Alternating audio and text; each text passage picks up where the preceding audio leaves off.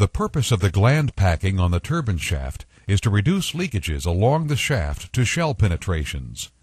The labyrinth packing set consists of three major steam seal areas. Before steam is admitted to the steam turbine for rolling, there is no leak-off steam available to seal the shaft glands. A source of steam is needed to seal turbine shaft penetrations to prevent air in leakage.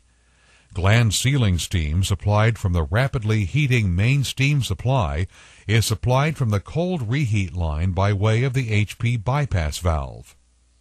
As the cold reheat steam line becomes pressurized, some of this steam is taken off to provide turbine shaft sealing steam. Using a condensate spray, the gland sealing steam to the LP gland is desuperheated to an acceptable temperature for the LP end of the turbine.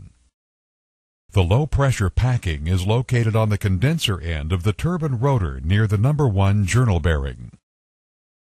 Steam turbine shafts have been designed with a feature to prevent steam leakage called labyrinth seals. These seals are sharp, thin, raised edges that protrude toward the shaft from the gland ring and fit into ridges and valleys machined into the turbine shaft.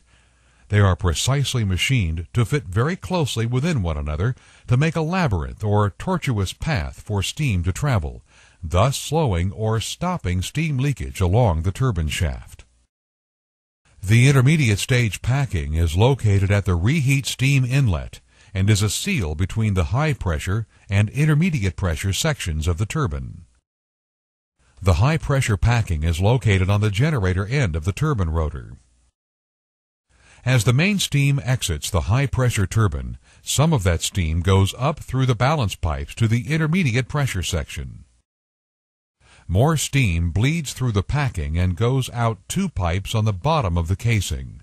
This bleed-off steam goes to the gland steam condenser.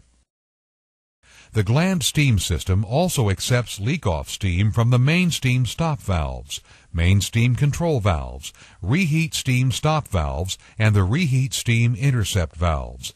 This leak-off steam is routed to the gland steam condenser. The gland steam condenser is provided to condense the leak-off steam from the packing glands and the steam valve stems.